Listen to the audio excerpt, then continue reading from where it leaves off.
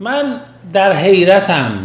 موندم جواب ندارم برای این در حیرتم از اینکه زنان که از خدای به این بزرگی فقط یه شوهر میخوان چطوری که از یک شوهر به این درماندگی و کوچیکی همه دنیا رو میخوان